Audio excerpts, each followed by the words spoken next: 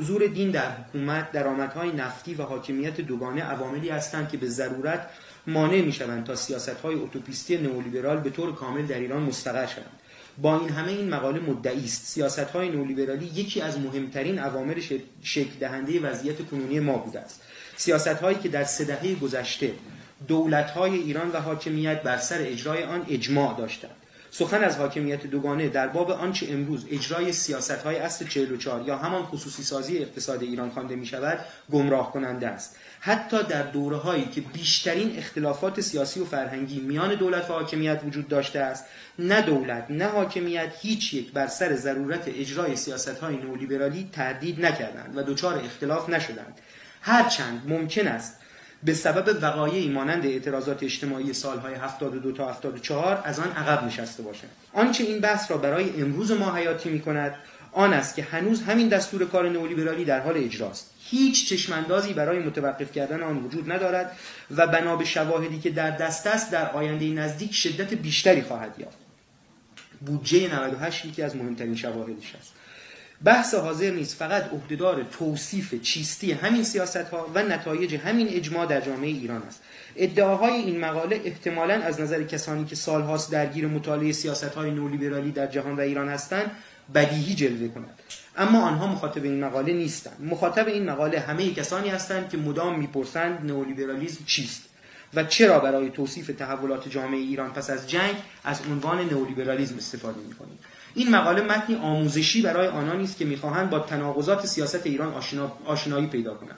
ما مدعی هستیم که توجه اکثر مردم به عوامل ثانوی به عوامل ثانوی متأثر از این تناقضات دوخته شده است و آنان از ماهیت این تناقضات اطلاع چندانی ندارند. تا جایی که اجرایی شدن چنین سیاست هایی در جامعه با توسل به قیاس های نادرست و تجزیه و تحلیل های کارشناسانه فیسبوکی و تلویزیونی هنوز مورد تردید واقع می شود دو کلیتی به اسم غرب وجود ندارد سوسیال دموکراسی سوئدی، اردولیبرالیسم آلمانی و نئولیبرالیسم آمریکایی یک چیز نیستند. همچنان که دولت رفاه کینزی با نئولیبرالیسم تاچری یکی نیست. برخی فکر می‌کنند وقتی از نئولیبرالیسم سخن گفته می شود وضعیت کلی چیزی به اسم غرب مد نظر است. در سده گذشته به رغم علاقه وافر مردم اطلاعات جامعه ما از تحولات و وضعیت کشورهای مختلف غربی یعنی تاریخ غرب بسیار سطحی و آشفته و متکی بر صنعت فرهنگ بوده است تا منابع معتبر تاریخ و اقتصاد و جامعه شناختی. هرچند گفتگو درباره غرب چنان در زندگی روزمره ما رسوخ کرده که می‌توان ادعا کرد اندک جایی در جهان به پای ما می‌رسد. کلیتی که در گفتارهای رسمی از غرب شیطانی ساخته شده است منجر به بازتولید ذهنیتی در ایرانیان شده که به همان سیاق اما در جهت عکس میپندارد که غرب الماسی خوشتراش از خیر و زیبایی ها و درستی های جهان است. ذهنیت هایی که دو روی یک سکند آنچه اهمیت دارد عبور از این کلیت های ایدئولوژیک و پرداختن به مصادیق معین و تحولات مشخص تاریخی است. کاری که دست کم عالمان و دانشمندان غربی در مورد خودشان انجام دادند. ریشه ترین و تندترین و وسیع ترین انتقادها از سرمایه‌داری و نسخه نولیبرال آن در خود غرب صورت گرفته است. در تاریخ مدرن غرب از گفتگو و حتی منازعه درباره وضعیت خود باز نایستاده است. تأمل در خودی که ما در هر فرقه باشیم و به هر صفتی موصوف آن را نیاموختیم. با وقوف به بحث هایی که در این باره در غرب صورت گرفته پرسشی ساده را مطرح می‌کنیم. نئولیبرالیسم چیست؟ سه.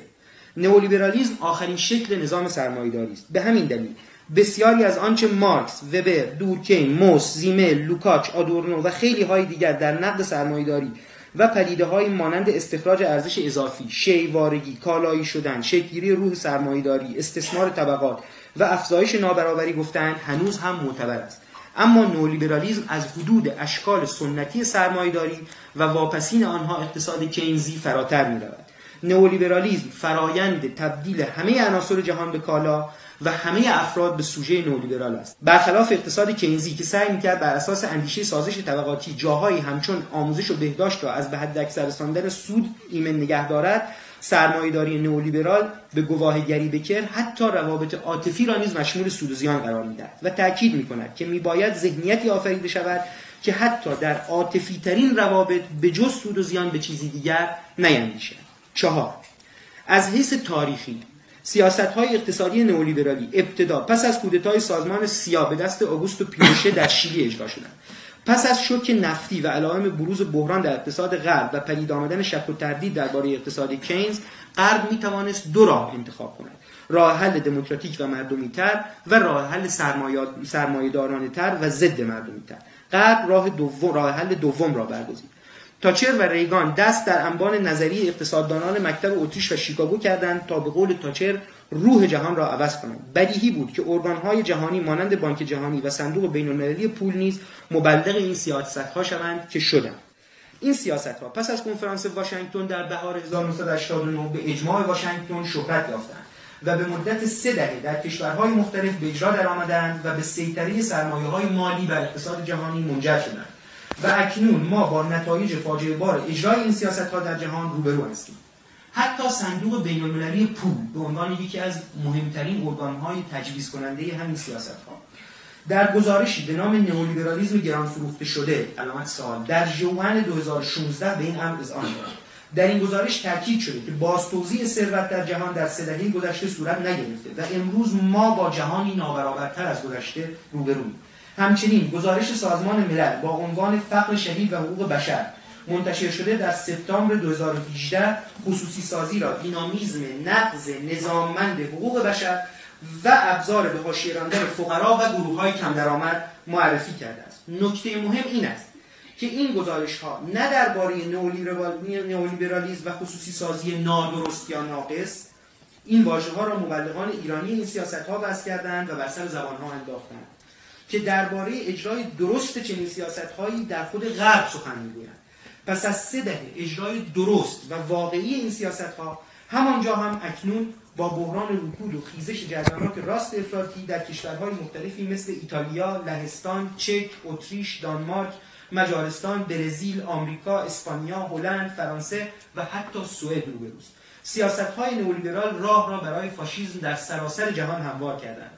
روابط تاریخی نئولیبرالیسم با فاشیسم به کنار. باز می‌پرسیم نئولیبرالیسم چیست؟ پنج نئولیبرالیسم هرچند اصول ساده اقتصادی دارد اما فقط اقتصاد نیست نوعی جهانبینی است و مثل همه جهانبینی ها منشوری است که در هر زمینه قرار گیرد پرتوهای متفاوتی میپراکند دشواری از اینجا آغاز می شود که مردمان آن را فقط اقتصاد و خاص کشورهای پیشرفته می دانند. اقتصاد نئولیبرال از فرد سادگی به چکلیست تبدیل شده است و مبلغان وطنی آن با تکیه بر همین چکلیست و نه با تکیه بر علم اقتصاد جهانی مدعیند که آها این هست این نیست. آنان تفره می‌روند که خود را نئولیبرال بنامند و مهمتر از آن نئولیبرالیسم را جهانبینی متصور شوند و نمی‌خواهند و صد البته نمی‌توانند درگیر بحث‌های فلسفی و فرهنگی و جامعه شناسی و خاصه کلامی شوند.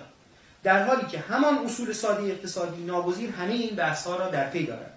و بر همه آنها پرتو خود را میافکند.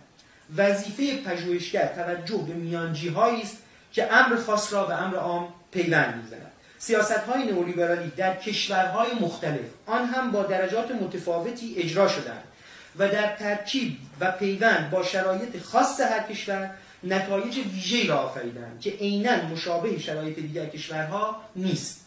به بیان دیگر سیاست های نئولیبرالی در ایالات متحده امریکا، انگلستان، کامبوج، کلمبیا، فرانسه، آلمان، سوئد، ایران، چین و خیلی کشورهای دیگر اجرا شدند. اما وضعیت اقتصادی، آرایش نیروهای اجتماعی، ترکیب سرمایه، جایگاه دولت، نحوه توزیع قدرت و طبقات و افراد صاحب قدرت چه در آغاز اجرای سیاست های نئولیبرال و چه در تداوم آنها ضرورتا در این کشورها شباهتی به هم نداشتند به همین دلیل باید تاکید کنیم که اجرای سیاست های نئولیبرالی در جهان مطلقا منوط به وجود ساختارها و قوانین لیبرالی مانند حق تثبیت شده مالکیت، حکومت قانون، استقلال قوا، نظارت مطبوعات، شکلگیری جامعه مدنی و نظایر آن نبوده است. نئولیبرالیسم ربطی به دموکراسی ندارد و ضد آن است.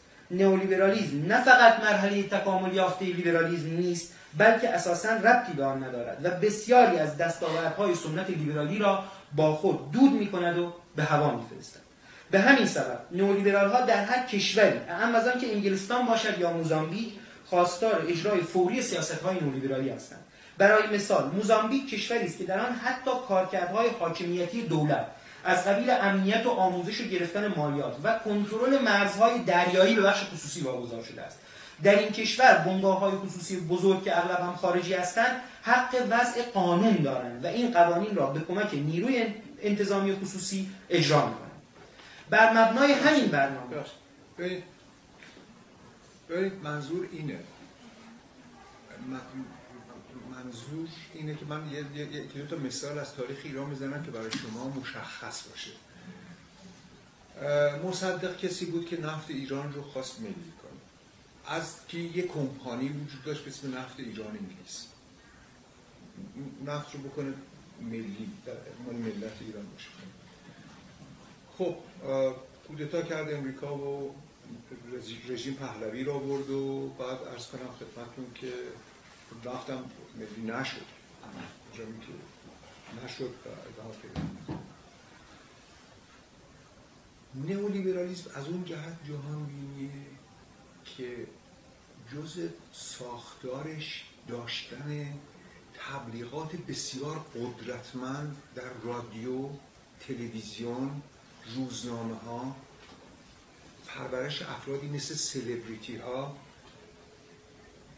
و تبلیغات عظیم در همه جاست برای پیشبرد آثارش. ببینید دانشگاه روزنامه رادیو تلویزیون این رو یه مقاله داره به اسم روشنفکران و سوسیالیسم. اونجا توضیح میده که کسانی که الان آمدن باید نئولیبرالیسم رو به عنوان یه یوتوپیا عرضه کنن برای مردم که به شیوه درخشانی در ایران توصیف شده. در مورد مصدق ببینید نفت نفت عملا در انقلاب ملی شد. چهار پنج شیش سال نگذشته بود که اینا شروع کردن به اینکه مصدق چماقکش بوده مصدق خیانت که مصدق دشنام دادن به مصدق از همون موقع شروع شد. یعنی مصدق. و بدیهی بود که حاکمیت دینی هم یه جوری دیگه با مصدق باید بود. یه عبارت دیگری به مصدق چیز بود. حاصل الان اینه که کلیه کسانی که به تاریخ این مملکت خدمت کردن الان اصلا نسل جوان نمی‌شناسن. نمی‌دونن. نمی‌دونن که چه کسانی برای حقوق این ملت مبارزه کردن؟ درست؟ و ستایشگر کودتاچی هانی هستن یعنی سیایه امریکا و چیزی که در 28 مرداد آمدن و حقوق این ملت رو چپاول کردن.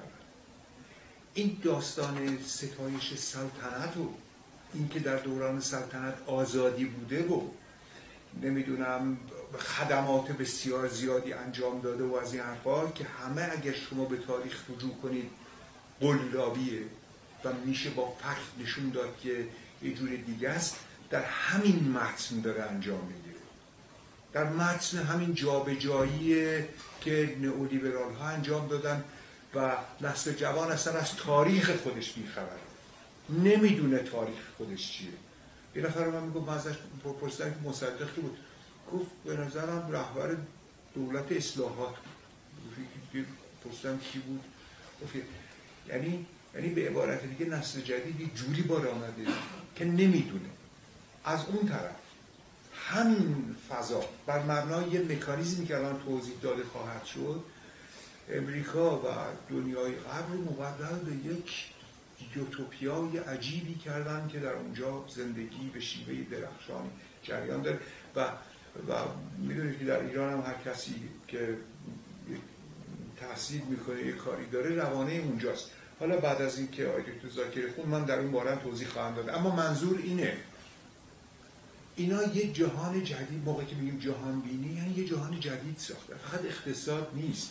در سیاست اینا یه دنیای کاملا واژگونه ای ساختن در حیطه ذهن افراد یعنی برداشت افراد از خودشون اینا تغییرات بسیار مهم می‌دادن این ماجرا که میگن ما در اقتصاد اصل رقابت اگر, اگر رقابت نباشه اقتصاد پیش نخواهد رفت و اینا رو به این تسری دادن در رابطه بین الاسلمی بین افراد. طوری که ببین الان همه در رقابت با هم دیگن به همین علتی که ببینید افراد افتادن به دنبال جراحی های عجیب غریب که زیباتر بشن. ربطش در اینه ربطش در اینه که شما باید شما هر, هر کسی دیگه رقیب شماست. رقیب شماست در نمی‌دونم هر جای زندگی. خب در این متن که جراحی ببینید شما در جراحی نمی‌دونم پلاستیک هیچ اشکال و ایرادی نداره. من تا زمانی که در متن در این مورد بیشتر صحبت خواهیم کرد مطرح در متن اقتصاد و جهانبینی نئولیبرال مطرح میشه شما رو درگیر یه رقابت پایان ناپذیری می‌کنه حتی با خودتون. به شما نگاه می‌کنید می‌بینید زیباتر نشد. یه, یه عمل دیگه یه عمل یه عمل زن و مردم ندارن مردها دارن دست به اعمال جراحی دارن می‌زنن که ببینید اصلا یکی از اینا رو زمان قدیم انجام می‌دادن. یه جور دیگه جامعه باشون برخورد می‌کرد. ما در این مورد بیشتر صحبت خواهیم کرد و در اینجا بیشتر آمده. من فقط خواستم یه اشاره بکنم که شما بیایید ببینید ما از چون ممکن بعضی از این کلمات به سلمبه باشن که ما داریم راجع به چی صحبت می‌کنیم. چرا سیاست ایران در طول از مشروطیت به بعد رو نسل جوان باش آشنایی نداره؟ چرا نمی‌دونه چه کسانی برای آزادی جنگیدن و چه کسانی مردم ایران رو شکنجه کردن و اعدام کردن؟ مثل رژیم پهلوی پدر و پسر با هم. ببین ایناست که الان در جامعه ما مشکل آفریده. مهمتر از اقتصاد نئولیبرالی یه سوژه نئولیبراله. یه سوژه نئولیبرالی که الان در فیسبوک در نمی‌دونم تلویزیون های خارج و حتی در تلویزیون داخل یعنی تلویزیون داخل طرف. شما اگه به تیوی پلاس که از جمهوری اسلامی مجوز داره نگاه کنید دهشتناکتر از بی بی سیه وحشتناکتر از اونه. برای اینکه در مورد آفریدن سوژه نئولیبرال. شما خواهش می‌کنم برید نگاه کنید. تا بدونید که اصلا ماجرا نمی‌دونم این اونا نیست. ماجرا یه فضایی است که ساخته میشه. و بعد یکی از خصوصیات نسل جوان هم اینه. بزرگ میشه میاد در یه دنیایی گمان می‌کنه. این دنیا طبیعیه. ببینید ببینید خیلی مهمه. فکر می‌کنه دنیا طبیعیه. دنیا همینه که بوده. قافله که ببین این دنیا دنیا تاریخیه. این دنیا تاریخی داشته که به اینجا رسیده. این حذف تاریخ و جایگزین کردن یه سری ایماج ها به جای تاریخ. همین ذهنیت شیواره شده ایه که نئولیبرالیسم این رو تا انتها میرونه آمدن چیزایی مثل فیسبوک و فلان از حرفام این این امکان رو برای افراد قائل میشه که به افراد خود تربیت شده ای تربیت بدل بشن که معلمی ندیدن یه چرتی بگم بعد بابت اون چرت وایسن. یه مزخرفی بگن باید اصلا فکر کنن که حقیقت رو گفتن. ببینید این, این, این دستگاه این اجازه رو میده. و چون تربیتی نشدن آموزشی نشدن معلمی ندیدن گمان می‌کنن که اونجا چیزی به اسم دموکراسی حکم فرماست. نیست. بفرمایید. بر مبنای همین برنامه است که در ایران نیز اقداماتی همچون واگذاری ماهیگیری در آبهای جنوب کشور به چین و سفاری آموزش به بنگاه های خصوصی آغاز شده است. همانطور که گفته شد این برنامه می‌تواند لباس سنت های گوناگون را برتن کند و تمام نتایج دهشتبار خود را به پای کل آن سنت بنویسد. در صورتی که این نتایج سرنوشت مقدر سنن جهانی نیست بلکه از آن سننی است که خود با آغوش باز به استقبال این جهان بینی می‌برند چه از آن خبر داشته باشند چه نداشته باشند بنابراین سنت دین اخلاق جغرافیا و تاریخ برای نولیبرال ها بی‌معناست. آنها چکلیست به دست خواستار اجرای موارد طبقه بندی شدهشان هستند. فیلمسل در مبانی نظری و مستندات برنامه چهارم توسعه ایران که در حکم چارچوب نظری برنامه تلقی می‌شد آمده است. حرکت جهانی اکنون به گونه است که از نظر دیدمانهای توسعه و مدلها راهبردها و سیاستهای اقتصادی نوعی هماهنگی و همگرایی با قوت در حال شکلگیری است که فرصت زیادی برای طرح و انتخاب مدل‌های گوناگون روسی، چینی، کوبایی، ویتنامی، هندی، الجزایری و غیره و آزمایش راه اول، دوم، سوم و غیره باقی نمی‌گذارد. معاونت امور اقتصادی و برنامه‌ریزی برنامه و بودجه سال 1383 ببینید اینجا میگه که به تاریخ بی منظور اینه. یه عده می‌گفتن برای من توسعه پیدا کنم باید یه شرایطی باید یه وضعیتی به وجود شرایطی به وجود بیاد تا من بتونم توسعه پیدا کنم. اینا اینجا میگن به هیچ وجه به وجوه این ماجرا. شما این چکلیست رو اجرا کنید توسعه پیدا خواهید کرد. درست؟ اینی که به تاریخ هر کشور بی به این معناست که این رو به چین میگن به ایران میگن به موزامبیک میگن به همه کشورها همین چکلیست رو ارائه میدن. اما با ورود این چکلیست تاریخی جور دیگه ای نوشته میشه. ببینید این خیلی مهمه. یعنی افرادی در تاریخ ایران برجسته میشن که دنبال نفع.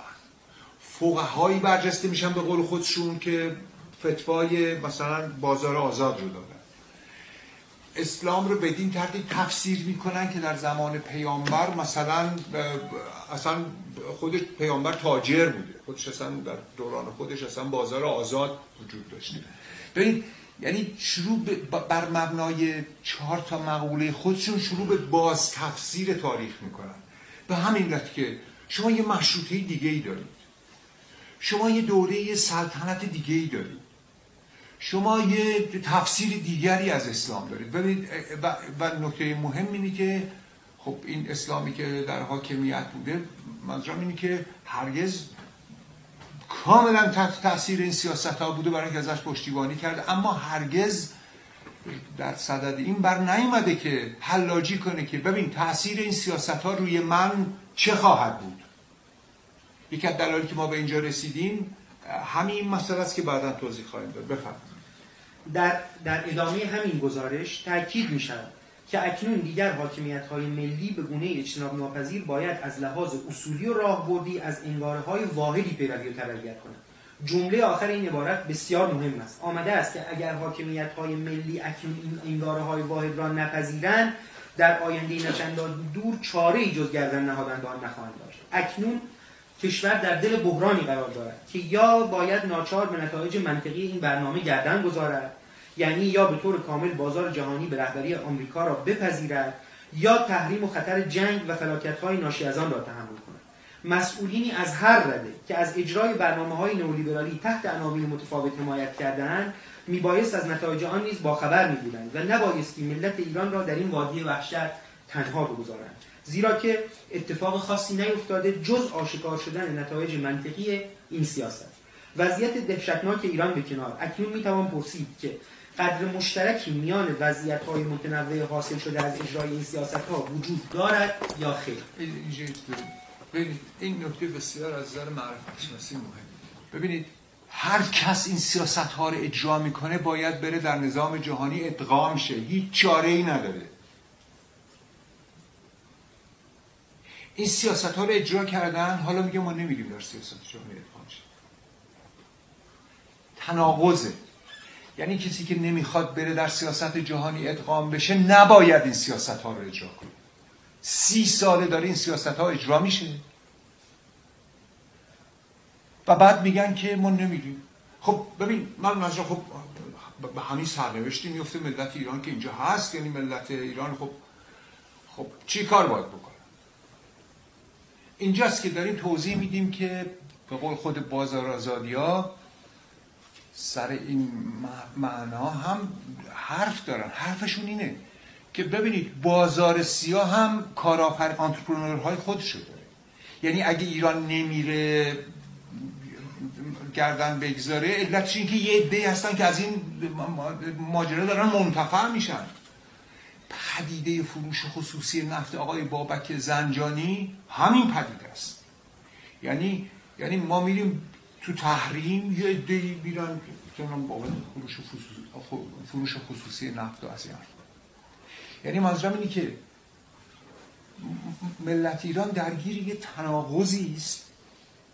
درگیر یه تناقض منطقی است. منتها خودش با کم، کمتر از ملت ایران اینو می‌دونن که این وضعیت به وجود آورده. یا این سیاست ها نباید اجرا می‌شد یا اگه اجرا می‌شد شما باید می‌رفتید بالاخره در بازار جهانی ادغام می‌شد. حالا در بازار جهانی راه دیگه ای وجود نداره. این سرمایه هایی که خصوصی شده بعدا خواهد گفت همه رفته. همه رفته خارج. و کاملا هم اینا منطقش رو فراهم کردن. سرمایه میره جایی که امنه. بنابراین من منظور اینه. ما می‌خوایم این وضعیت رو توضیح بدیم که چرا ما الان اینجوری گیر کردیم. ما بابت نمی‌دونم حوث یه نفر دو نفر و نمی‌دونم فلان اینا گیر نکردیم. گیر کردن ما گیر کردن ساختاریه. ما می‌خوایم اینو بگیم. اگر می‌خواستید با جهان نسازید خوب این برنامه رو اجرا نمی‌کرد چون نتیجه منطقی این برنامه اینه که برید با جهان بسازید خب این خب باید افراد بدونستن دیگه. این ببینید بارها و بارها گفته شده. خود اینا هم گفتن. گفته شده. برای مسئولین باید بیان توضیح بدن که خب چه اتفاقی گفته ما اینجا در آخر سر گفتیم که حالا کسانی که الان هستن بیان توضیح بدن که خب چرا ملت ایران رو در این بنبست الان رها کردن؟ و ما در وضعیتی هستیم که اصلا نمی‌دونیم چیکار باید بکنیم. اکنون می‌توان پرسید که قدر مشترکی میان وضعیت های متنوع حاصل شده از اجرای این سیاست ها وجود دارد یا خیر. پاسخ مثبت است. نئولیبرالیسم به دو اعتبار محتوای سیاست های اجرایی شده. و برخی نتایج به بار آمده در همه جای جهان پدیده واحد است و خاصه نتایجی به بار می آورد که شبایت های ناگزیری با هم دارد جلیق های فرانسوی از همان سیاست هایی مینالند که کارگران و معلمان ایران. حال باید توضیح دهیم که منظورمان از محتوای این سیاست های اجرایی شده و نتایج به بار آمده چیست. 6 نولیبرالیزم را نباید به سیاست های اقتصادی نولیبرالی فروکاست. نولیبرالیزم نوعی جهانبینی است که تمام ابعاد زندگی بشر را در بر می‌گیرد.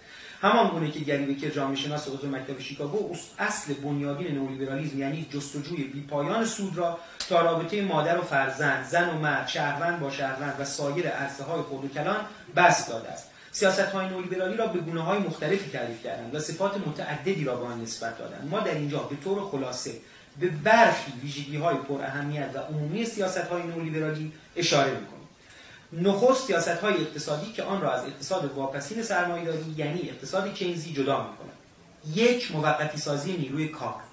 دو خصوصی سازی تحت عنوان عدم تصدیگری دولت یا سپردن کار مردم به مردم. سه مقررات زدایی عرصه های مختلف زندگی. چهار مسئولیت ناپذیری در خدمات اجتماعی. اهم از آموزش، بهداشت، تامین اجتماعی و غیره. پنج ممانعت از تشکلیابی جامعه. اما نولیبرالیسم فراتر از همه سیاست های اقتصادی پیش گفته فرایند تبدیل همه پدیده ها و نقش های اجتماعی اهم از دولت، خانواده، دین، دانشگاه، پدر، همسر، دوست، فرد و غیره همزمان به فرد و بنگاه است.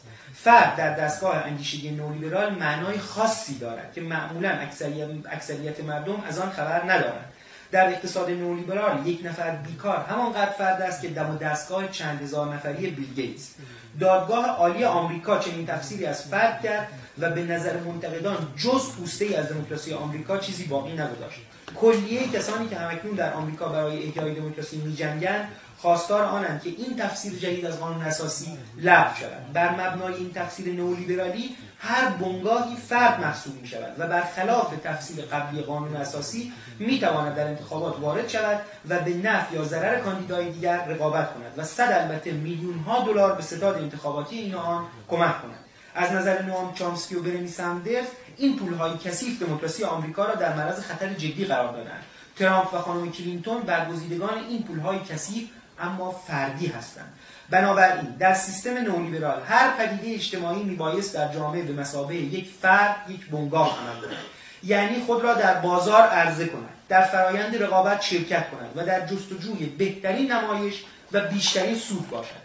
لاجرم پیوندهای او با هر کس و هر چیز موقتی و تا زمان تداوم سوددهی ادامه خواهد داشت.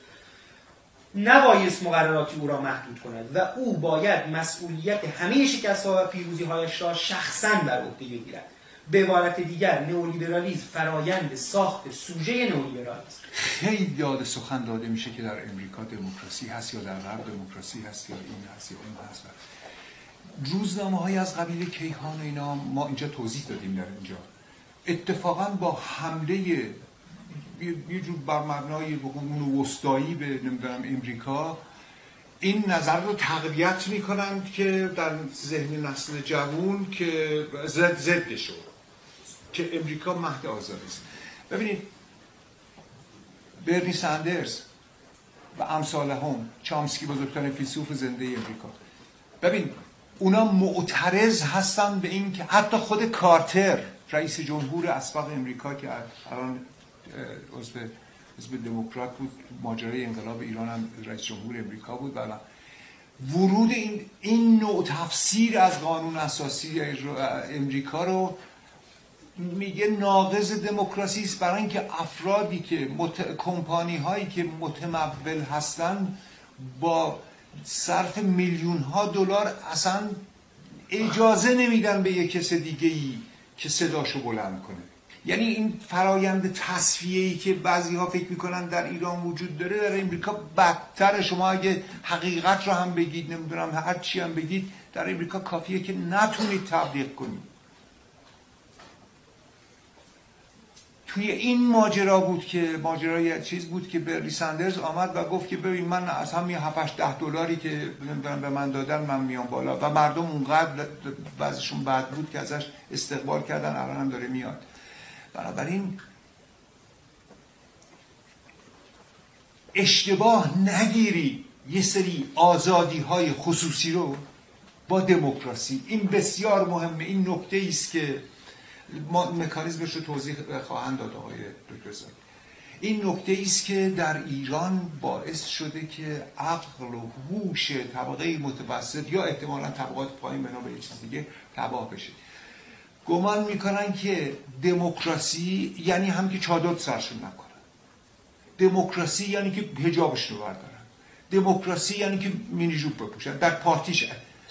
ببینید اینها همه آزادی های خصوصی است که الان دیگه در همه جای دنیا وجود داره. اما اینها دموکراسی نیست. هرچند اگه دموکراسی باشه افراد می‌تونن بجنگن در این موارد و راجع به حجاب اینا هم صحبت کنم. دموکراسی یعنی که من در یه فضای آزادانه بتونم راجع به سرنوشت خودم برای از ایدئولوژی ها صحبت کنم. دموکراسی یعنی تربیت آدم های بالغ. یعنی تربیت آدم هایی که بتونن بحث کنن. نه تو فیسبوک به دنبال ایماج بدون دنبال این باشن که تشکل داشته باشن. دنبال این باشن که بتونن از منافع گروهی خودشون دفاع کنن. از منافع مذهبی خودشون دفاع کنن. از منابع از منافع قومی خودشون این, این یعنی دموکراسی. در صورتی که این نوع آزادی ها بعد این رو به تو شما بگم. نئولیبرال ها چنون تبلیغ کردن که گویی آزادی یعنی همین. یعنی همین. و الانم مثلا سلطنت با که دارن میان وعده میدن که ما بیاین همین کارو می‌کنیم و می‌کنن. راست اما شما برید ببینید که چه بعد سر دموکراسی در دوران این رضاخان و پسرش چی آمده بود؟ با مخالفین چجوری رفتار می‌شد؟ این به این معنی نیست که من از جمهوری اسلامی به طرفداری کنم نه. در اینجا هم رفتارها رو ما می‌دونیم چجوری که مکانیزمش توضیح داده خواهد شد. منظور اینه که شما تف... این تفکیک ها رو بدونید. تفکیک آزادی های شخصی از دموکراسی بسیار چیز مهمی است. و اینکه شما این نوع آزادی ها رو عین دموکراسی بدونید ببینید ضرری به این ملت خواهد زد که تا صد سال دیگه این ماجرا ادامه پیدا خواهد کرد. یه جا هست که من برای این آزادی ها می جنگم خیلی مالی خیلی یه جا هست من بر دموکراسی می جنگم که بسیار مهمتر هفت. ناقدان سوژه نولیبرال به هیچ وجه خواستار سلب هر گونه آزادی یا حق انتخاب برای مردمان نیستند. کسانی که طالب دموکراسی هستند موافق نیستند که دولت یا هر نیروی اجتماعی دیگر حق دموکراتیک افراد را از بین ببرد. منظور از دموکراسی حق همگان در تعیین سرنوشت خود برخورداری از آزادی بیان و عقیده و حقوق اساسی و نظارت آزادانه بر عملکرد قدرت هاست. مدافعان دموکراسی طالب تلاشی برای تا تغییر آزادانه وضعیت غیر اجتماعی هستند به دست جامعه. این همان جایی است که منتقدان صنعت فرهنگ و جامعه مصرفی با دو گروه مرز دقیقی را رسم می‌کنند. از یک سو با ذهنیت شیواره شده و از سوی دیگر با نیروهای سرکوبگر حقوق و آزادیهای فردی در همه اشکال حکومتی و دینی و غیر دینی آن به همین دلیل نقد صنعت فرهنگ و سوژه نولیبرال کاملا باید از موضع رادیکال و رهایی بخش صورت گیرد که تفاوت اساسی دارد با جهانبینی های مدافع وضع گذشته و مخالف است با احیای هر گونه وضعیت گذشته که ذهنیت های شیواره میپندارند کمتر از حال حاضر سرکوب کننده بودند. در ایران آنچه مهم است فهم همدستی این دو نیروی ظاهر متعارض یعنی برداشت خاصی از دین و نئولیبرالیسم در از بین بردن آزادی و دموکراسی است. در حال حاضر از آنجا که تاریخ ایران و جهان به صورتی مخدوش عرضه شده است به قول پاولو فریره ستمدیدگان آموزش ندیده فقط قادر به بازتولید جوامع گذشته هستند. آنان بری از هر نوع تخیل خود را منفعلانه تسلیم ایماژهایی می‌کنند که از هر سو به طرفشان روان است. ایماژهایی که به دروغ به آنها نسبت فعال بودن می‌دهند در صورتی که آنها در واقع مصرف کننده صرف همان ایماژهایند. اما بیدار کردن قوه تخیل با ادبیات و فلسفه و علوم اجتماعی انتقادی این امکان را می‌دهد که آینده ای رها شده را تصور کنیم و تسلیم انتخاب ابدی میان بد و بدتر نشویم. بازاری شدن فرهنگ و نامیدن همه خلاقیت های فرهنگی به نام کالاهای فرهنگی که همانند کفش و پیراهن و جغجغه هدفشان فروش بیشتر است راه را بر هر نوع فرهیختگی درونی و بیرون میبندد هشت نتایج سیاست های نولیبرالی چه بوده است؟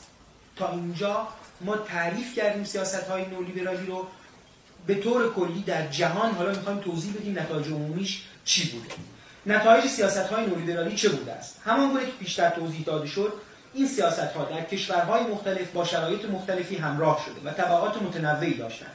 در سوئد همچنان و علیرغم اجرای سیاست های نولیبرال بخش مهمی از شاکله دولت رفاه پاورجاست در کامبوج اجرای سیاست های نولیبرال به تقویت دولت پادشاهی و قسمی کلیپتوکراسی منجر شده است. کلیپتوکراسی رو ترجمه می‌کنن قارت سالاری دوست سالاری در کلمبیا این شبه نظامیان بودند که با پیوندهای غیررسمی با ساختارهای سیاسی و گروه های زینفوز اقتصادی به تسهیل پیشبرد سیاست های نولیبرالی از جمله در سرکوب اتحادیه ها کمک کردند و بر قدرت خود افزودند.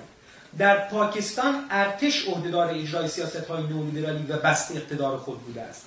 در فرانسه جلیق زردها در نتیجه سه دهه اجرای سیاست های نولیبرالی همکنون در خیابانند. همه منابع اینا ذکر شده تو متن اوورده حالا بعدا متن منتشر میشه خواهید در آمریکا این سیاست ها شهروند آمریکایی بیقدرتی را تولید کرده که در جستجوی رویای تحقق ناپذیر آمریکایی به ترامپ رای میدن واحد بودن چکلیست عینی و ذهنی نولیبرالیسم هیچ تضادی با بروز آثار متنوع سیاسی، فرهنگی، دینی، اجتماعی و فردی آن ندارد.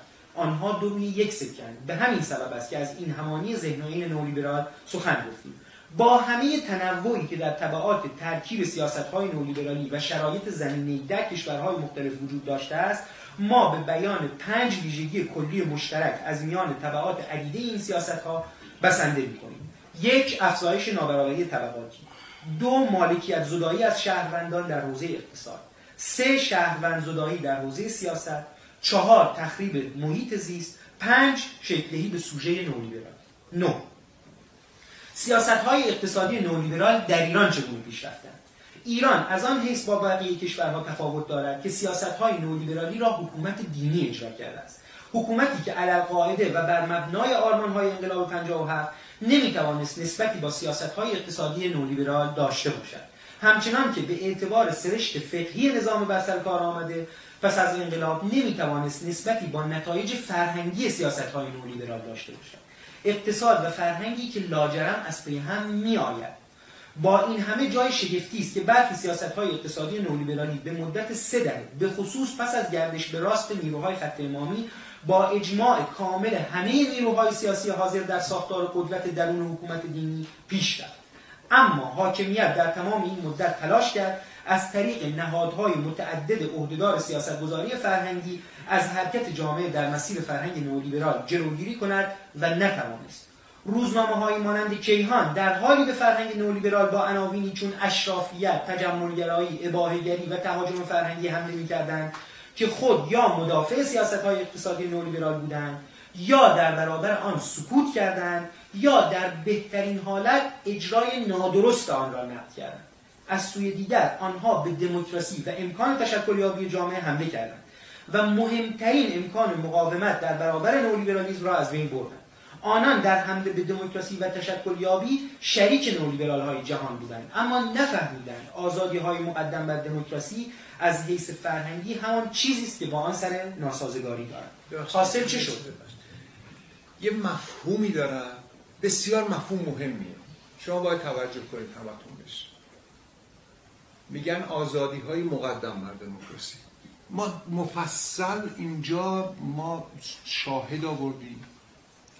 از خودشون نقل قول کردیم و گفتیم که نه تنها طالب دموکراسی نیستن بلکه حتی از فاشیزم دفاع می‌کنن. همه, همه اینها اینجا با نقل قول سند آمده. چرا اینها با دموکراسی مخالفن؟ تمام وحشتشون از اینه که مردم بیان به سیاست هایی که اینا دوست ندارن رأی بدن. واروفاکیس یعنی اقتصاددان یونانی که کشورش واقعا نابود شده بود بر مبنای سیاست های ریاضتی میگه رفت میگه من رفتم آلمان شروع کردم صحبت باشون که ببین بچه ها تو مدرسه چون نون ندارن دارن از حال میرن. و شما باید در این سیاست ریاضتی که میگید که ما سیاست ریاضتی مفهومش اینه که دولت عهدهدار بهداشت نیست دولت عهدهدار آموزش نیست دولت عهدهدار عهدهدار امنیت نیست دولت عهدهدار رفاه مردمان نیست دولت اقتدار اقتدار چیزی دانشگاه ها باید خصوصی بشه بهداشت باید خصوصی همه باید پول شده بودن و وقتی هم که موقعی که پولی هم که نیست که خب بعدی که حال حاضر دیگه خدماتی وجود داده می‌گفت اونجا یه کمیته بود که رئیسش آلمانی بود و من گفت ببین بعد گفتم که ببینید ما به شکل دموکراتیک انتخاب شدیم. مردم یونان ما رو انتخاب کردن که بیایم و یه جوری نمایندهشون باشیم. گفت ضعیفترین نقطه اروپا همین حق رأی مردم همین انتخاب مردم. برای که هر آن چون اروپا سیاست واحدی داره و, و باید از اون تبعیت بشه. و مهمترین حلقه ضعیف همین مردمی که شماها رو انتخاب کردن که شماهایی که دارید باید بگید که ببین در مورد ما استثناء قائل باشید. بیگفت من رفتم پیش یه مقامی که آلمانی بود رئیس شورای اقتصادی اروپا بود. که با چامسکی داشت حرف می‌زد. چامسکی گفت انتخابی بود گفت به هیچ گفت یه عامل گفت یه عامل انتخابی نبود اما ببین سلطان اروپاست بیگفت منو به حضور پذیر بیگفت من بهش گفتم که ببین مردم من الان دوچار این مسائل گفت می‌دونم. بعد می‌گفت برگشت به من گفت که ببین منم اگه جای تو بودم همین جوری حرف می‌زدم و همین جوری از ملتم دفاع و همین کارو می‌کردم. منتها. یه جا ما باج بدیم. یک جا ما باج بدیم. تمام اروپا باید باج بدیم. بنابراین باید برید این سیاست رو انتخاب کنید همون سیاستی ریاضتی که ما میگیم. واروفاکیز آمد دولت سیریزا واداد واروفاکیز استعفا داد آمد بیرون. و همون سیاست ها رو حزبی اجرا کرد که درست مخالف اون وعده داده بود. اینجا هم ببینید ماجرا همینه. یعنی دولت و حاکمیت همینجور ایستادن و این سیاست ها رو ادامه میدن یعنی همون ماجرای اینه که و مردم هم فرقی نمی‌کنه. این ماجرای نمی‌دونم اون یکی یا این یکی در اصل تفاوتی نمی‌کنه. حاصل چی شد؟ حاصل چیزی شد که فرنان برودل نامش را دشمنان مکمل گذاشته است. حمله کیهان به اباهیگری و دفاع نولیبرال ها از سیاست از سلبریتی بازی و مد روز و موسیقی پاپ و صنعت فرهنگ تحت عنوان آزادی سلیقه باعث شد که هرچی کیهان بیشتر به این چیزها حمله کند آنها بیشتر مشروعیت پیدا می‌کنند. دست آخر دموکراسی و نظارت دموکراتیک که راه حل بسیاری از مشکلات ما بود به باد فنا رفت. متوجه شدی چه اتفاقی تو جنگی که داخل فیسبوک همینه. جنگ بر سر دموکراسی نیست. چون کیهان هم مثل نمی‌دونم بازار آزادی ها طالب دموکراسی نیست. کیهان به یه سری آزادی های خصوصی داره حمله می‌کنه. همین آزادی های خصوصی رو در داخل فیسبوک دارن ازش دفاع می‌کنن. جا کار به یه جایی می‌رسه که یه رقاصه یه واقعی مهم اجتماعی اتفاق میفته یه رقاصه رو علم می‌کنن که 16 سالش داره میرقصه. تمام زن و پیر و مرد نمی‌دونم چیز طبقه متوسط شروع می‌کنن به رقصیدن برای پشتیبانی. از این دختر بعد می‌فهمن که ببین اصلا چه می‌دونم دختر یه سلبریتیه که رفته اونجا و این ماجرا علم شده که یه ماجرای دیگه ای چیز نشه. میدل کلاس ایرون الان از نظر سوژه نئولیبرال به اینجا رسیده. شما کافیه با دو تا ماجرای فیسبوکی پیرزن 90 ساله طبقه متوسط رو وادار به رقاصی کنی یا وادار به این کارو بکنی یا یا وادار این این میشه سوژه نئولیبرال. این کسیه که یعنی اسیر همین ایماژ هایی است که در اونجا آفریده شده. ربطی به دموکراسی نداره. زمانی که ما میگیم که کیهان و این فیسبوک و این این افرادی که در اونجا دارن نمی‌دونم راجع آزادی های این این دارن صحبت می‌کنن مکمل همن یعنی حرف ما نیست. حرف بودله. دشمنان دشمنان که هم دیگه رو تکمیل می‌کنن. یعنی یه سری چیزهایی رو گنده می‌کنن و یه چیزی چیزهای بسیار پر اهمیتی مثل دموکراسی رو از نظر میندازن. و یه جوری وانمود می‌کنن که انگار دموکراسی فقط هجابه ببینید در امریکای لاتین من اصلا مسئله هجاب ندارم. تو امریکای لاتین تو برزیل اصلا با همه دارن لخ را میرن. شما همه دارن تو کارناوال دارن. آیا این به این معناست که کلیه مسائل برزیل حل شده است؟ یه جوری صحبت می‌کنه این مسئله حل شه همه مسائل ما حله. تو کلمبیا حل شده است تو فیلیپین حل شده است تو هند حل شده است.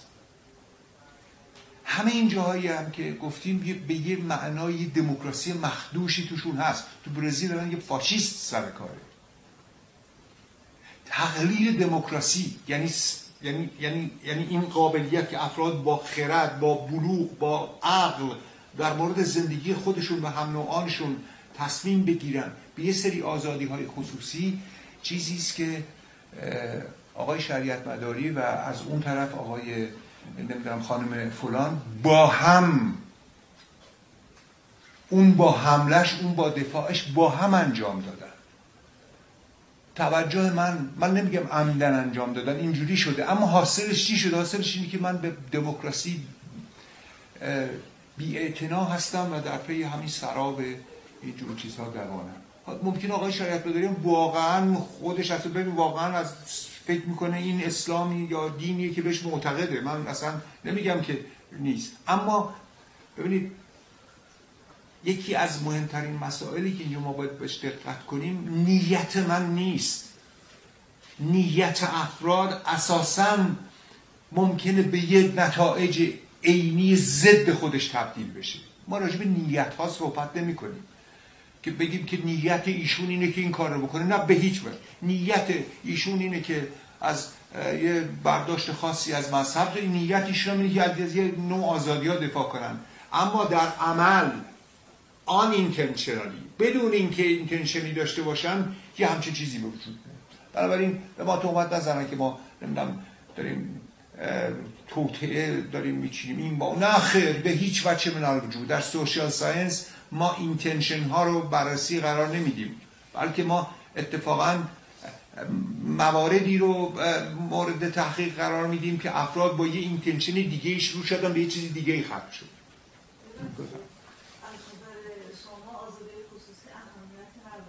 حالا ما همینجا رو همه توضیح دادیم. شما گفت صد که آمد 90 هم پیش منه. یعنی یعنی اگه شما دموکراسی داشته باشید شما می‌تونید برای هر نوع آزادی بجنگید و هر نوع آزادی رو به دست بیارید. این همون چیزیه که این همون چیزیه که دارن میگن و تا آزادی رو تا دموکراسی رو از شما بپوشونن. این همون چیزیه که افرادی که الان در اونجا هستند ما توضیح خواهیم داد. افراد در اونجا هستن این نوع آزادی های خصوصی رو یعنی هر نوع آزادی رو به این نوع آزادی های خصوصی فرو خواستند. و دارن تو کله ملت ایران می‌کنن که آزادی یعنی همین این. این آزادی خصوصی رو افرادی در زمان نمی‌دونم رضا پهلوی محمد رضا پهلوی در شمال شهر شهرهای بزرگ نه در چون ببین اگه کسی همینا فامیل داشت در یه شهرستان کوچیک اگه می‌خواست بره طبق عرف میبایست چادر سرش می‌کرد. یعنی مردم اجازه نمی‌دادن. اون رو گنده می‌کنه تا بپوشونه که در زمان اعلی حضرت مخالفین رو هر از کوچیک و بزرگ میبردن توی ساواک و شکنجه می‌کردن. این کسانی که همینجور دارن اعلامیه صادر می‌کنن در واقع متوجه نیستن که یه سری آزادی های خصوصی به عنوان دموکراسی بهشون فروخته شده. حرف ما اینه. حرف من اینه. مگه تو برزیل افراد اوریان می‌تونن برن بیرون. آیا زمانی که خونتا یا نیروی نظامی اونجا بود دموکراسی اونجا حاکم بود؟ یا همین الان نمی‌دونم دولت دلار زدن انداختن یه مشت خطا و تاریخ با حمایت امریکا آیا دموکراسی اجرا شد؟ صحبت سر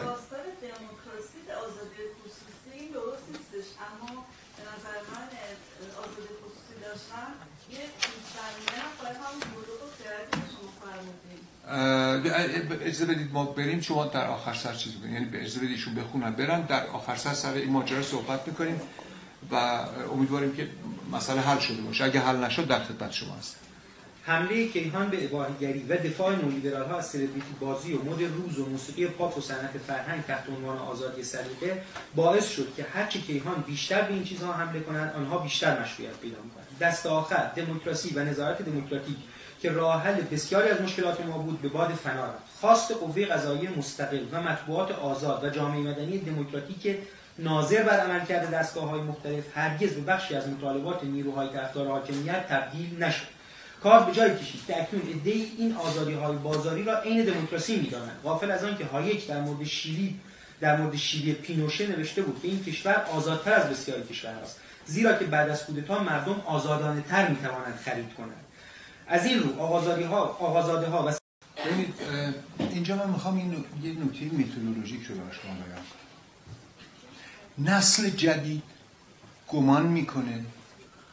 منظورم از نسل جدید همین دانشجوهای بدبخت بیچاره منن که هر سال شاهدم که این دو تا دیگ و یه دونه کتاب و یه دونه قفسش رو باید بزنن زیر بغلشون. از اینجا برن جای پایین تر از جای پایین تر برن جای پایین. گمان می‌کنن. این وضع طبیعیه. یعنی همینه دیگه. یعنی شما اگه اجاره بخوای بکنی همینه. اجاره همینه. این وضعیت در زمان آقای هاشمی رفسنجانی بود. قبل از اون اگر شما جایی رو اجاره می‌کردی اتفاقا اولا که کسایی که خونه اجاره می‌دادن دنبال مستجر خوب بودن. دنبال مستجر گرون بده نبودن. شما می‌تونید 10 سال 15 سال بعد 20 سال اصلا در یه خونه باقی مونده. اصلا ببینید مقررات جوری بود که به نفع مستاجر بود. رفتن به آقای هاشمی رفسنجانی گفتن که برای حل مشکل مسکن شما بیاید اجاره رو بکنید یک ساله و موجر حق داشته باشه بندازه بیرون مستجر ایشون هم رضایت دادن. گفتن اگه این کار رو بکنید سه ساله مشکل مسکن حل میشه. چون اول قرار بود که آقای خسروشاهی در اوایل انقلاب خونه بسازن به همه بدن. اینا حالا بعد رفتن واتیکان و چیز شد. اینجوری شد که اجاره به این وضعیت فعلی در آمد ریفاید کانشسنس یا آگاهی شیع شده همینه. آگاهی شیع شده فکر می‌کنه وضعیت فعلی وضعیت طبیعیه. طبیعیه که سر هر سال به شما بگن پاشید برید. طبیعیه که همه چیز دست موجر باشه و هیچ حقوقی مستعجر نداشته باشه. واقعا یکی از موارد اندوه من یعنی اندوه من دیدن دانشجوامه که سال به سال موقعی که همین موعد اجارهشون نزدیک میشه دارن میلرزن که چقدر می‌خوام بزنن روی این اجاره.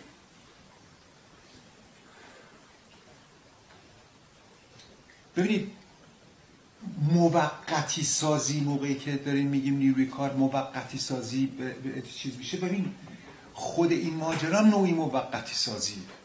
یعنی شما در قدیم وقتی جایی رو اجاره می‌کردید اصلا می‌تونستید اونجا زندگی بنا کنید. یعنی برید میز بخرید مبل بخرید نمی‌دونم اصلا اونجا باشید. یک جوری اونجا بتونید سک ناگزیدن خود آقای روحانی هم گاهی وقت میگه که الان هتل ما نمی‌خوایم بسازیم و اینا. تو این همه حرفای عجیب غریب.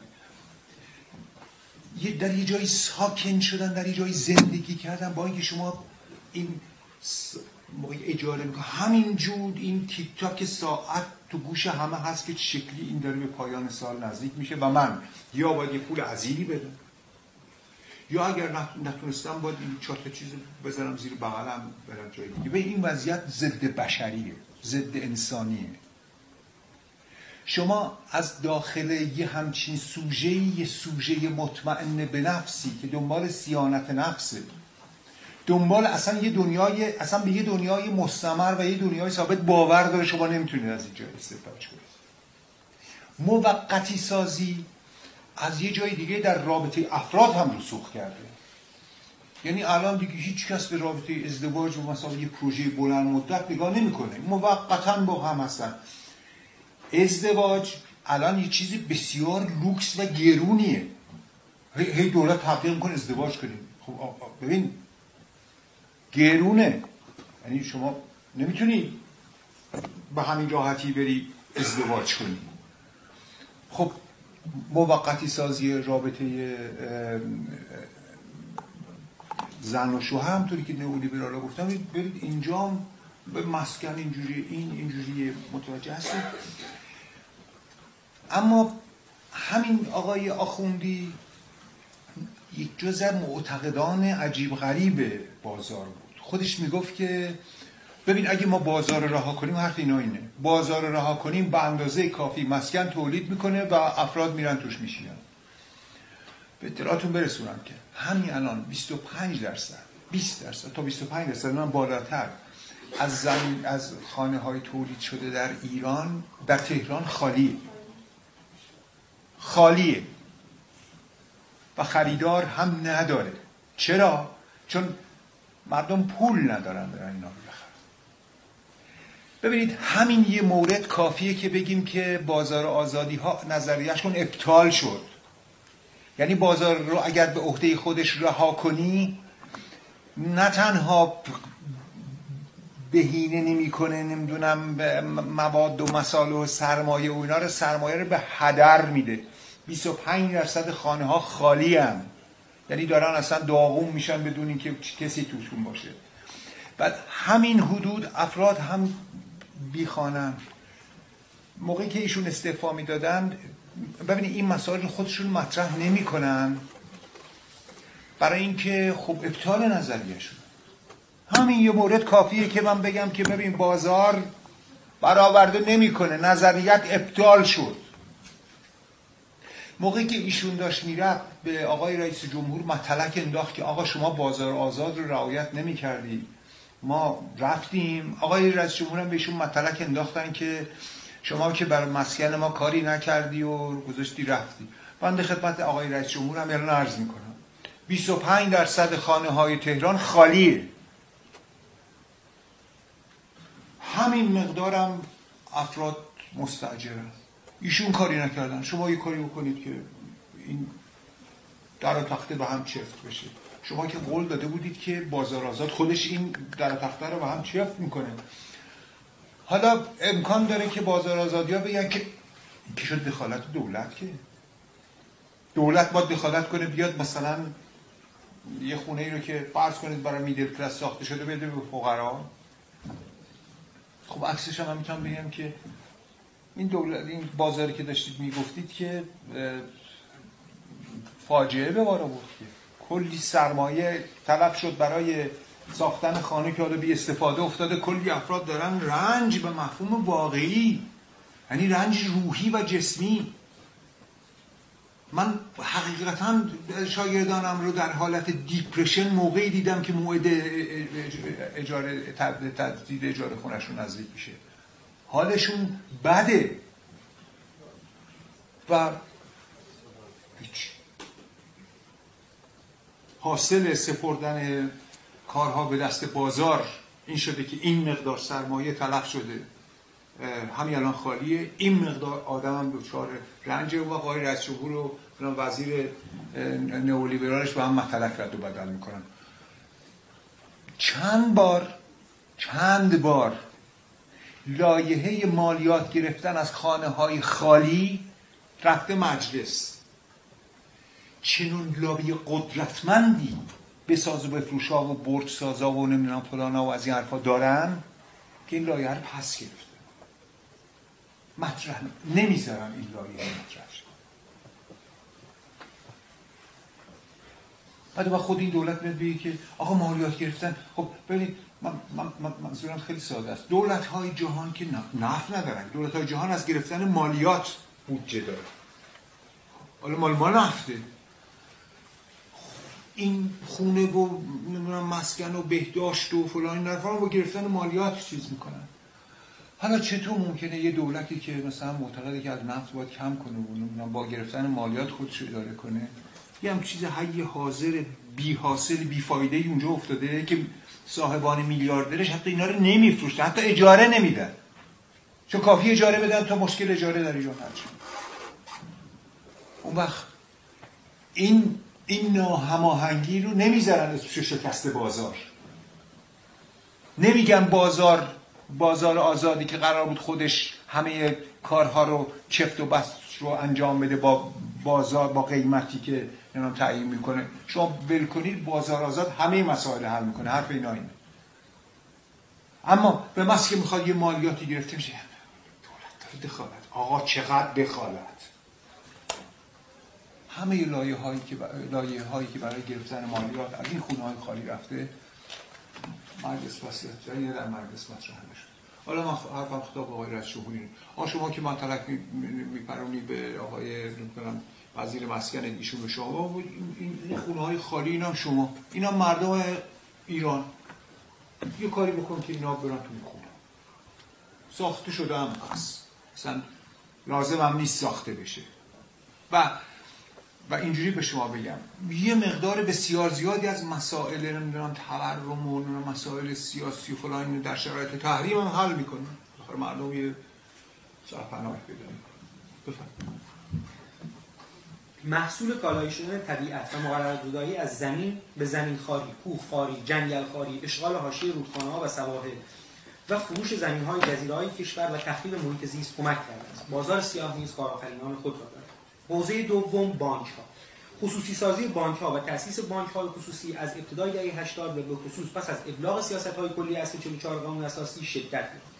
مقررات زدایی از حوزه بانکی و فقدان سیستم های موثر نظارت در این حوزه از اواخر دهه 80 باعث شکلگیری انواع گسترده از بانک های خصوصی و مؤسسات اعتباری و صندوق های الحسنه و امثال هم شد در این باره رجوع کنید به ویژه‌نامه بحران مالی و اقتصاد مقاومتی ماهنامه قلمرو رفاه 1395 مطابق داده های بانک مرکزی از 42 مؤسسه دارای مجاز فعالیت بانکی در کشور فقط 8 مؤسسه یعنی 20 درصد آنها در حال حاضر دولتی هستند در حالی که تعداد زیادی از مؤسسات به اصطلاح غیر مجاز از دهه 90 به بعد تکثیر شدند.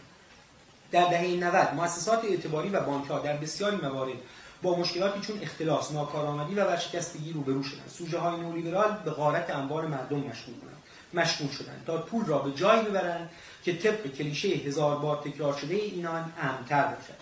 هر آنترپرنور و یا پیو آقازاده این بصیرت گیورگزیمل را ناخوانده می‌داند که پول می‌تواند رد پای خود را گم کند چنین بود که حکایت کردند چنین بود؟ حکایت کردند که کشور درگیر فسادهای گسترده نارضایتی و اعتراض مردم و تحمیل بودجه های مالی کلان دولتی برای پرداخت خسارت به مردم شد. حوزه تحصیلات بانکی چه دولتی و چه خصوصی در زمره رها شده ترین حوزه ها بوده است؟ فقط برای نمونه باید گفت بر اساس گزارش تدوین برنامه ملی مبارزه با فقر طی سی سال گذشته بیش از 80 درصد تحصیلات بانکی به دو دهک ثروتمند رسیده. که بیشترین معوقه های بانکی را دارند معوقه های بازپرداخت وام را دارند در حالی که درک های کم درآمد اغلب اقساطشان را به موقع پرداخت کرد. پرداخت کردند.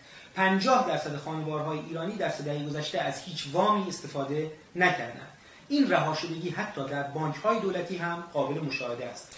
مطابق گزارش تفریق بودجه کل کشور در سال 96 هم گزارشی که بخش دیگه رو خوندم منابع ارزی حداقل مبلغ یک میلیارد و 89 میلیون درهم و 13 میلیون یورو در سنوات گذشته در بانک مسکن ناشی از اعطای تسهیلات ارزی. به دلیل عدم اعتبار سنجی و عدم اخذ وسایق و تضامین کافی که تماما به سرفصل مشکوک الوصول منتقل شده و تاکنون بازگشت داده نشده. تسهیلات اعطایی و مطالبات از اشخاص غیر دولتی بانک ملی ایران در سال 1396 معادل 122 هزار میلیارد تومان بوده که به دلیل عدم اعتبار سنجی و عدم اخذ وسایق و تضامین کافی مبلغ 92400 میلیارد تومان به بدهی های غیر جاری تبدیل شده است. این حکایت ها همچنان ادامه دارد اما تحلیل آنها در کلیت اقتصادی و لطمات اجتماعی و روانشناختی آنها نیازمند کوششی عظیم است. سوم حوزه آب. ماجرای وضع مقررات در حوزه آب مورد بسیار جالب توجه است که می‌توان از آن سود جست تا نکات روش شناسانی ناگفته این رساله را نیز اندکی توضیح داد. نیرو یکی از مهمترین مفاهیم مهم در علم فیزیک است. اما همین مفهوم در منظومه اندیشه ارسطو معنایی دارد. در نیوتن معنای دیگر و در آینشتاین باز معنای دیگر. بنابراین یک مفهوم در منظومه های متفاوت معانی متفاوتی دارد. عدم درک همین نکته ساده باعث قربانیان بسیار در حوزه علم شده است. مردم از زمانی که در ایران زمین دچار کم در ایران زمین دچار کم بوده آب سکنا گزیدن مقررات دقیقی برای مصرف آب وضع کردند که ضامن بقای زندگی و فرهنگ و تمدنشان بود. با ظهور دولت ملت مدرن که در مقررات عرفی هزاران ساله مردم تغییرات ایجاد کرد نابسامانی در وضعیت آب آغاز شد و منازعات مردم بر سر آب که گاه خونین نیز بود شدت گرفت. دولت ملت مدرن می توانست با بهرهگیری از آخرین یافته های علمی آنچه را عرف به میراث گذاشته بود بهبود کمال بخشد اما متاسفانه چنین نشد. وانهادن خرد به افسون تکنولوژی باعث سیاهروزی این مردم شد. همانطور که گابریل گارسیا مارکز در کتاب 100 سال تنهایی نشان داده است مردم تکنولوژی را از جنس جادو شمردن نه کاربسته علم و خرد. و به همین سبب گمان کردند که با حل ساده مسائل حکومت تکنولوژی قادر خواهند بود ایران را به تمدن بزرگ و امثال هم برسانند این خطای مهلک از زمان رضاخان شروع شد و تا به امروز ادامه یافته است. و جایی بسی دریغ است که عدهای قربانی کردن خرد در پای تکنولوژی را ورود ما به عصر مدرن و آباد کردن ایران نام نهادند مهمترین قربانی کردن مهمتر از قربانی کردن مهمترین قربانی فد... قربانی فدا کردن خرد در پای تکنولوژی مدرن حتی با نیت‌های خیرخواهانه مثل محرومیت زدایی و خودکفایی آب در ایران بوده است. در صورتی که استفاده خردمندانه از پیشرفته ترین تکنولوژی ها می توانست ملت ایران را از بسیاری بحران ها و مسائل نجات دهد. از زمانی که مردم قادر شدن از سیت تکنولوژیک خود به حفر چاه‌های عمیق و نیمه عمیق اقدام کنند وظیفه سخت و دشوار و به غایت ظریف حفاظت آب حفاظت از آب را به فراموشی سپردند. با پیروزی انقلاب این فراموشی با نیت خیر محرومیت زدایی همراه شد و در دهه های بعد با اندیشه کسب سود بیشتر از آب و زمین و کشت به لحظه فاجعه بار کنونی رسید که اساسا احیای محیط زیست در ایران را مورد شک و تردید قرار داده است. سابقه تغییر مقررات مربوط به هفت چاه‌های عمیق و نیمه عمیق به سال 1361 باز می‌گردد که در تبصره ماده 3 این قانون یعنی قانون توزیع عادلانه آب تغییر مهمی که قانون توزیع عادلانه آب مستقل سال 1347 بوده. در سال 1361 یه تغییر مهمی توش میدن. مطابق این تغییر وزارت نیرو برای چاه‌های غیر مجاز مردم در صورتی که مضر مصالح عمومی نباشد می‌توانست مجوز قانونی صادر کند. این قانون در فضایی که اصل بر محرومیت زدایی خودکفایی بود عملا باعث شد که مقررات زدایی عظیمی در حیطه آب صورت گیرد و انبوهی از چاه‌های عمیق و غیر عمیق در کشور حذف شد جدول زیر آمارش رو من آوردم که اینجا می‌خونم براتون. حالا جدولش اینجا هست ولی داده مهمش رو باز اینجا آوردم. در فاصله چهل سال تعداد چاه‌های آب در کشور 14 برابر شده و به 794 هزار حلقه رسید. فرایند قانونی شدن چاه‌های بدون مجوز هرگز متوقف نشد و در دهه های بعد قوانین جدیدی آن را تسهیل نمود. در سال 1389 ماده واحده‌ای تصویب شد که باعث شد چاه‌های بسیاری بتوانند بر اساس آن پروانه دریافت کنند. قوانین این قوانین که در کوران مقررات زدایی های توصیه شده نولیبرال ها وضع شدن عملا از حوزه آب مقررات زدایی کردند کشاورزان مدام به کشت بیشتر و بهرهمندی از سود بیشتر تشویق شدند و حفر چاههای غیرقانونی را هم ادامه دادند. نتیجه آن شد که تعداد چاههای آب حدود هفت برابر میزان افزایش جمعیت رشد کنند و میزان برداشت آب به پنج برابر برسد با توجه به تکنولوژی آن زمان معنای مقررات سال 47 برخلاف نام پرتمطراقش یعنی قانون توزیع عادلانه آب صدور مجوز برای عده‌ای معدود بود که از پس این کار برمی آمدند معنای تبصره مجلس در سال 1361 صدور مجوز برای عموم مردم در جهت محرومیت زدایی بود. کار خیرخواهانه که به عکس خود بدل شد. عملا منجر به مقررات زدایی شد.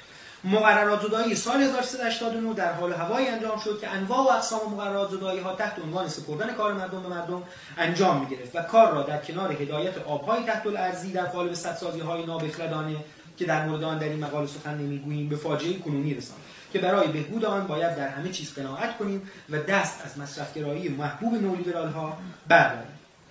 در نهایت بدیهی است مقررات زدایی در جامعه ایران در حوزه های مانند اقتصاد بین الملل تا حد زیادی صورت نگرفته و گردش آزاد سرمایه در یک ساختار بین المللی شده اقتصادی به وجود نیامده است و این مسئله خود یکی از تفاوت‌های مهم ایران با برخی کشورهایی است که سیاست‌های اقتصادی نولیبرال در سطح بین المللی نیز در آنها اجرا شده است. چهار مسئولیت ناپذیری دولت در خدمات رشدی ببینید این کنترل آبهای تحت الارضی در جامعه 25 درصد. در مصر چون فقط رود نیل رو دارن و از اون باید خیلی انشعاب بکشن دارن جای دیگه 45 درصد در ایران 95 درصد. شرکت هایی که صد سازی می‌کردن همینجور پروژه الان میگن همون شرکت هایی که پروژه گرفتن صد بسازن همون بعد از اتمام صد پروژه می‌گیرن که صد تو تخته این صد گتفند که ساخته شد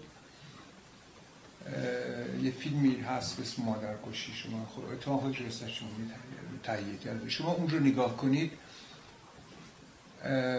در میابید که خوزستان رو اونقدرها که صد گتفند از پا انداخت جنگ از و الان وضعیت خوزستان و یعنی این حاصل من دیگه نمی‌دونم چیه شناسی کار نشناسی. یعنی اصلا بی به خرد بشری در سطح جهانی. ببینید چه فجایعی به بار میاره که الان اصلا ببینید خیلی از جاهای ایران مثلا سیستان رو آقای کلانتری میگه که ببین اصلا دیگه باید رها کرد. یعنی باید مردمش رو تخلیه کرد. برای اینکه اگه تخلیه نکنی میمیرن چیزی وجود نداره. اینه که منظور اینه. تکنولوژی موقع که میفته دست یه جهان سومی من منظورم از جهان سومی تأخیر نیست چون خودم هم جهان سومی هم چون در این مورد خیلی نوشتم.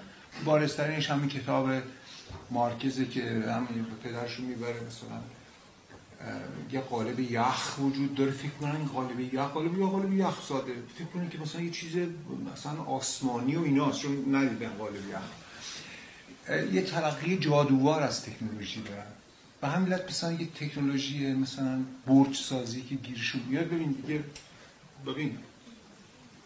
تمام باغ تمام له می‌کنن برای اینکه مثلا برج بسازن یا یا همین تکنولوژی سد سازی می‌دونید خود تکنولوژی به کار بردن این که چه منتالیتی چه تکنولوژی دستشه و چه جوری باید به کار ببره نیازمند یه خردیه نیازمند یه که شامل حال چیزای بسیار گنده تر هم میشه. یعنی مثلا این که ما ما میگیم این تکنولوژی داریم اون تکنولوژی داریم. مثلا صحبت که این تکنولوژی ها واقعا به درد ما می‌خورن مثلا؟ من فقط برای که ذهنتون برگرده به چیز ما داشتیم بخش های مختلف سیاست های نئولیبرالی رو می‌گفتیم. بخش اول اشاره کردیم به موقتی سازی گزارش نیروی کار رو دادیم. بخش دوم خصوصی سازی بخش سوم زدایی بخش چهارم مسئولیت ناپذیری دولت در خدمات اجتماعی امن آموزش بهداشت دادیم نگاهی به تغییرات سهم دولت مرکزی یعنی بخشی از دولت که عهدهدار تامین خدمات جمعی است. مانند همین آموزش و بهداشت از جی دی پی یعنی تولید ناخالص داخلی نشان می‌دهد که مطابق گزارش بانک مرکزی این عدد در فاصله سالهای 55 تا 85 از 48 درصد به 20 درصد در سال 70 و نهایتا تا 24 درصد در سال 85 رسیده است. در همین دوره زمانی اندازه دولت مرکزی در کشورهای مانند کره جنوبی، ترکیه، مالزی، فرانسه مالی و نروژ روند افزایشی داشته و در انگلستان در سطح 40 درصد باقی مانده است. نسبت بودجه عمومی دولت به تولید ناخالص دولت داخلی در سال 2015 در جدول زیر برای تعدادی از کشورها مقایسه شده است. باز جدولش اینجا است. فرانسه 56.2 درصد، فنلاند 56.1 درصد، دانمارک 53.6 دهم، ایتالیا 49.6, مجارستان 47.5, انگلستان 42.1, بوسنی 41.5, کره جنوبی 32.3, آذربایجان 29.8, ایرلند 28, ایران 24. متوسط اتحادیه اروپا 46 و 6 دهم. اعداد نشان میدن. پس باز مینالم که دولت داره یعنی میزان دخالت دولت در تامین خدمات جمعی از همه این کشورهایی که اسمشون خوندم نه تنها کمتره بلکه خیلی کمتر خیلی کشورهایی که امروز بسیارشون به عنوان نولیبرال شناخته میشن به عنوان کشورهای شناخته میشن که در سه گذشته تو خود اون کشورها عقب نشینی های بزرگ اتفاق افتاده تو حوزه های آموزش و بهداشت. اعداد نشان میدن که پس از کاهش نقطه اوج سهم نسبت دولت مرکزی به تولید ناخالص داخلی در دوره افزایش قیمت نفت در دهه 50 همواره سهم دولت مرکزی با نوساناتی محدود در حدود 20 درصد تولید ناخالص داخلی ثابت مانده است. عددی که در مقایسه با اکثر کشورها بسیار پایینتر است و نشان می‌دهد سهم دولت مرکزی نسبت به تولید ناخالص داخلی تا چند اندازه اندک است. معنای آن ساده است. سهم دولت در تامین خدمات عمومی مانند بهداشت آموزش پرورش اندکتر از کلیه کشورهایی است که در جدول آمده است. برای مثال فقط در حوزه آموزش عالی آموزش عالی رایگان از 80 درصد آموزش عالی کشور در سال 69 به 13 درصد در سال 1394 فرو است. مطابق آمار ارائه شده در سالنامه های آماری کشور بیش از 60 درصد دانشگاه های کشور در سال تحصیلی 1394 را حق و تدریسی ها یعنی آموزشگران غیر هیئتی علمی اداره کردند. برگردیم به متن. گفتیم که اکنون با کاهش درآمدهای نفتی کشور با دوراهی سرنوشت سازی روبروست یک راه آن یک راه آن است که حاکمیت برای جبران کاهش درآمدهای نفتی دست به خصوصی سازی بیشتر و حتی فروش خصوصی نفت بزند مطابق تجویز برخی اسناد کلان اقتصادی کشور. و به عقب نشینی در حوزه های آموزش و بهداشت ادامه دهد تا اندک درآمدی کسب کند. اندیشه نولیبرالی ضرورت بدل اندیشه نولیبرالی ضرورت بدل شدن دولت به بنگاه حاکمیت ایران را هرچه بیشتر مجبور می‌کند تا بر طبقات متوسط و پایین فشار وارد کند. تشکل زدایی را ادامه بدهد و چه بخواهد چه نخواهد ایران را به بهشت ثروتمندان نوکیسه و جهنم طبقات متوسط و پایین بدل کند. ادامه سیاست هایی که نشأت گرفته از در هم آمیختن نظام فکری نولیبرالی با نوعی برداشت از دین است نتایجی به بار آورده که عده شتاب زدان را غارت مینامند در صورتی که این غارت ها نتیجه منطقی اتخاذ همان سیاست هاست بدیهی است تداوم این سیاست ها فقط به عمیق‌تر شدن فاجعه کمک خواهد کرد چه بر سر کشوری خواهد آمد که مطابق گزارش فقر و نابرابری وزارت رفاه در سال 92 نزدیک به 35 درصد جمعیت آن زیر خط فقر مطلق بودند. راه دیگر آن است که حاکمیت سیاست های نولیبرالی را کنار بگذارد. راه آشتی با ملت خود و جهان را در پیش گیرد. مسائل خود را با سراحت و صداقت با آن اقشاری از جامعه که مدنی و تب هستند و در صدد گفتگو برای حل مسائل کشورند مطرح سازد. و صدای گروه های تشکل یافته و تشکل پذیر جامعه مانند معلمان، کارگران، بازنشستگان، روزنامه‌نگاران، پرستاران، دانشجویان، اقلیت های قومی و مذهبی و عقیدتی را بشنود و در فضای دموکراتیک به همراهی آنان در حل مسائل و مصائب ایران بکوشد تا بتواند نخستین گام ها را در صلح و آرامش برای عبور از این برهه دشوار تاریخ معاصر ایران بردارد. یگان راه حل مسائل و مشکلات ما دموکراسی است. 13 نئولیبرالیسم جهان بینی است. هیچ کس علل خصوص حاکمیت نمی‌دانست و هنوز هم نمی‌دانست که سرمایهداری بیش از هر چیز روح است که در تمام ابعاد زندگی رسوخ می کند و نسخه نئولیبرال آن را به انتهای خود می‌خواند. این نکته را ماکس وبر در اثر خود اخلاق پروتستانی و روح سرمایهداری گفته است. وبر به سبک زندگی ما انسانهایی اشاره می کند ما انسانهایی که در نظام سرمایهداری زندگی می کنیم اشاره می کند نقل قول از وبر. این نظم اکنون به شرایط فنی و اقتصادی تولید ماشینی وابسته است که امروز سبک زندگی همه کسانی را که در این مکانیزم متولد می شوند و نه فقط کسانی که مستقیما با مالندوزی با مالندوزی اقتصادی مرتبطند با نیروی مقاومت ناپذیر تعیین می نماید و شاید تا زمانی که آخرین تن زغال سنگ مصرف می شود تعیین نماید. به نظر باکستر باکستر اسم عارفی است. غم نعم دنیوی بایستی فقط مثل ردای سبکی که هر لحظه بتوان دور انداخت بر شانه اهل تقوا قرار داشته باشد. اما سرنوشت چنین می‌خواست که ردای سبک به قفس آهنین مبدل شود. به هر حال درباره آخرین انسانهای این تکامل فرهنگی به درستی چنین می‌توان گفت. متخصصان عاری از روح و لذت طلبان فاقد قلب. این پوچی تصور می کند به ترازی از انسانیت دست یافته است که هرگز کسی بدان نرسیده است. هرچه متخصصان آری از روح و لذت طلبان فاقد قلب بر ایران چیره می شوند ارزش های اخلاقی به زوال می روند گویی ابن خلدون سرنوشت ما را پیش بینی کرده است. از عصبیت در روزهای نخست تا تلقی فرهنگ به عنوان فساد در روزهای میانه تا زوال در روزهای آخر. وبر فقط آن را انزمامیتر بیان کرده است. چهارده. تا اینجا فقط از اجرای برخی سیاست های اقتصادی نولیبرال سخن گفتیم. در کنار سیاست های اقتصادی نولیبرال نولیبرال فرایندهای فرهنگی نیز در جریان بوده است که منجر به ساخت سوژه نولیبرال شدهاند.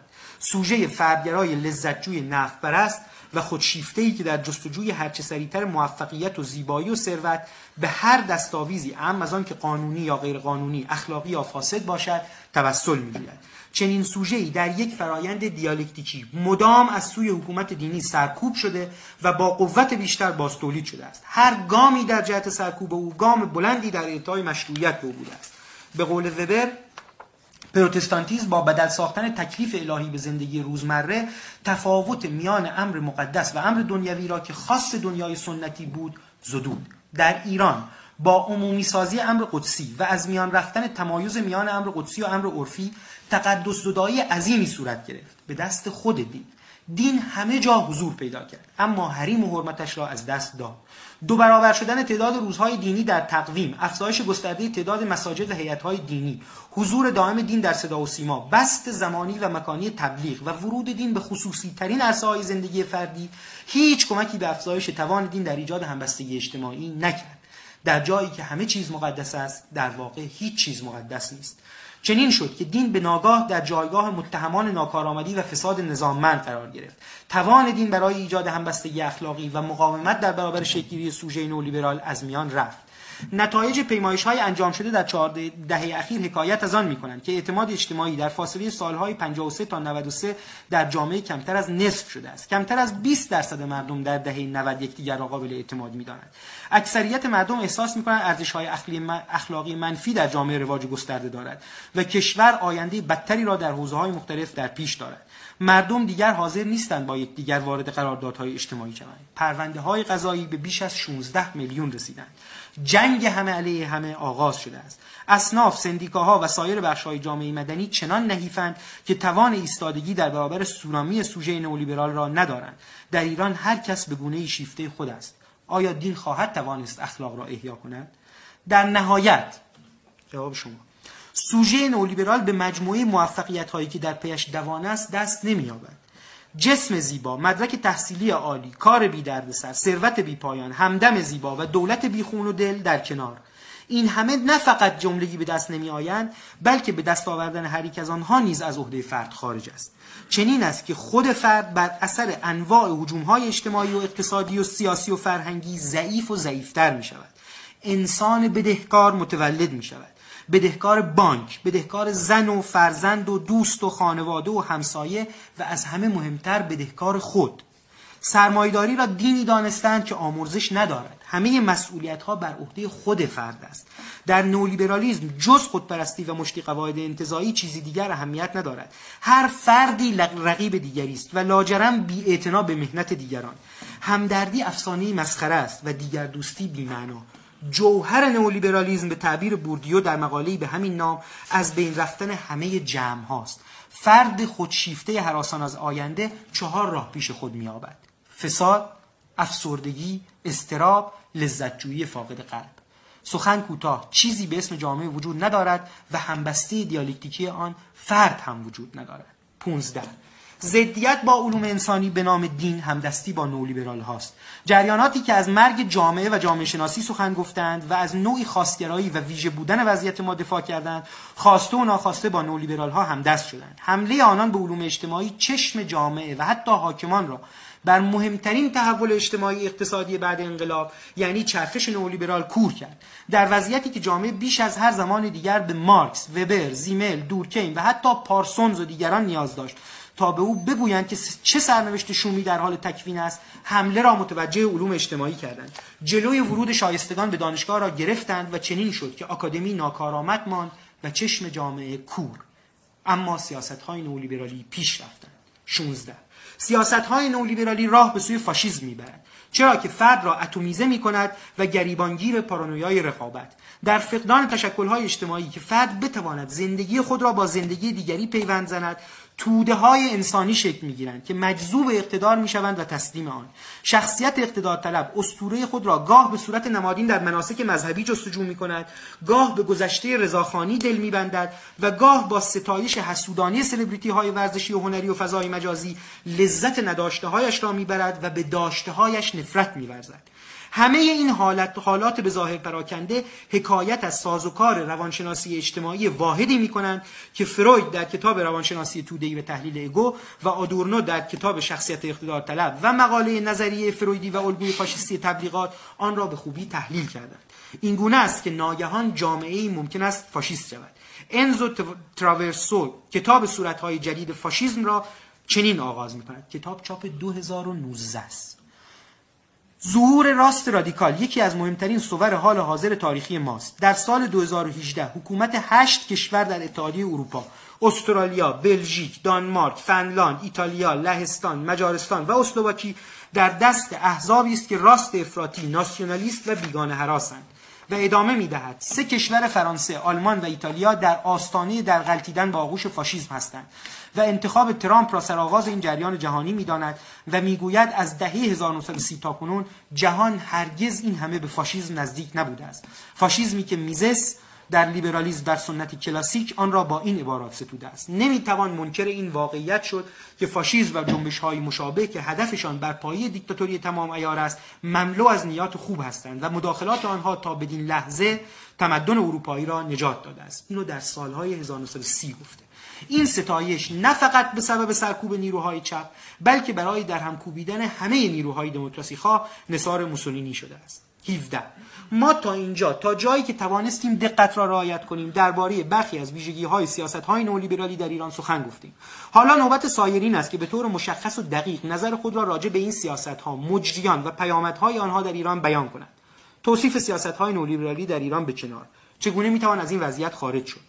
در پاسخ به این سوال است که باید مرز خود را با سه طیف معین کنیم. اول آنها که راستروی اقتصادی را در داخل کشور همچنان ترویج می‌کنند. دوم آنها که دم از عدالت خواهی می‌زنند. و سوم آنها که می‌خواهند در کنار ارتش آمریکا آزادی و دموکراسی را برای ایرانیان به سوقات آورند. همان چیزهایی که به عراق وعده داده دسته اول گارد قدیمی حاکمیتند اهم از اصلاح طلب و اصولگرا.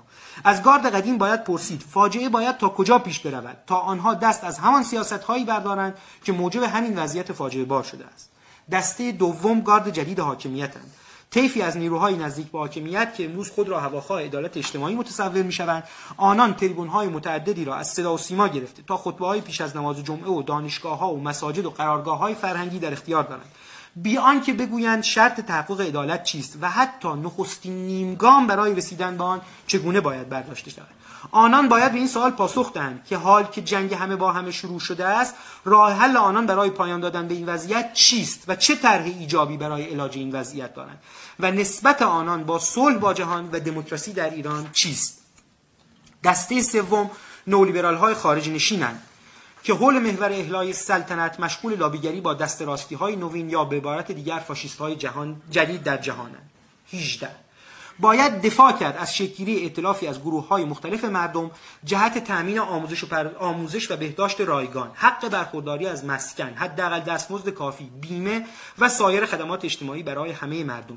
مطالبات اصلی چنین ائتلافی آموزش بهداشت مسکن کار بیمه تشکل آزادی و دموکراسی در مقابله با گارد قدیم و جدید خواهد بود. گارد قدیم و جدید به کنار. نولیبرال های خارج نشین نیز آزادی های دموکراتیک را با آزادی های خصوصی بدل می کنند و از دموکراسی بیزارند. هر چند وعده دموکراسی می‌دهند اما اساس اندیشه آنها ضد دموکراتیک و ضد آزادی هایی است که مردم برای تعیین سرنوشت خود نیازمند آنند.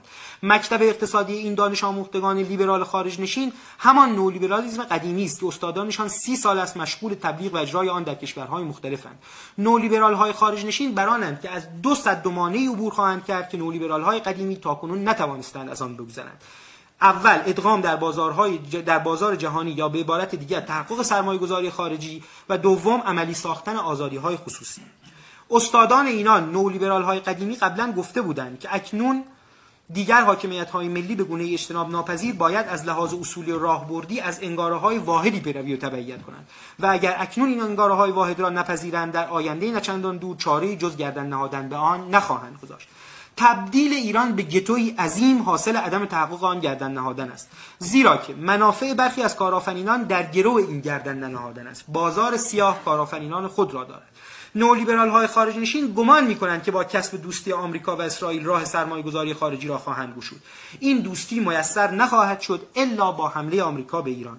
تلاش این گروه را حتی آقای اردشیر زاهدی خائنانه مینامد. آنان گمان می کنند ایران حی و حاضر همواره در طول تاریخ باقی خواهد ماند و نمی‌دانند که قبلا دولت‌های بزرگ حتی نقشه ایران تجزیه شده را کشیدند پس از این حمله و یا حتی ادامه وضعیت تحریم ممکن است چیزی به اسم ایران باقی نماند.